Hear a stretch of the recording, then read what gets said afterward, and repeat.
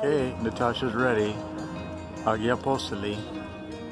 Today's February, what, thir- 12th? 12th, yeah. Two days before Valentine's Day. so, look, we have, uh, we're here, uh, so many people down here. Not so many swimming, but getting some sun. It's so, it's beautiful out here.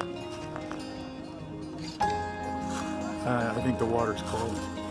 I'm being a chicken. I'm just gonna sit here today, lay down and get some. Bravo, Natasha.